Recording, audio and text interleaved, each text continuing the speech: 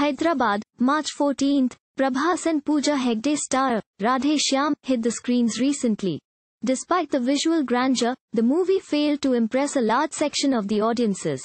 Director Radha Krishna Kumar seems to be unhappy about the negative responses from the audience and critics.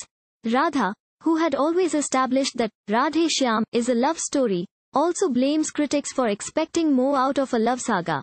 His response to the comments on social media profiles indicates that the director has been quite upset over the negative comments on Radhe Shyam in one of his recent interviews. Radha said, You go to a vegetarian hotel expecting them to serve chicken biryani? We have always told this is a love story, but critics are bashing us saying there is no action in the movie.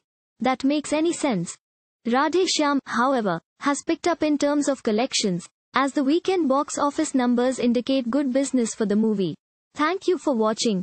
Please subscribe to channel and click on bell for more daily videos.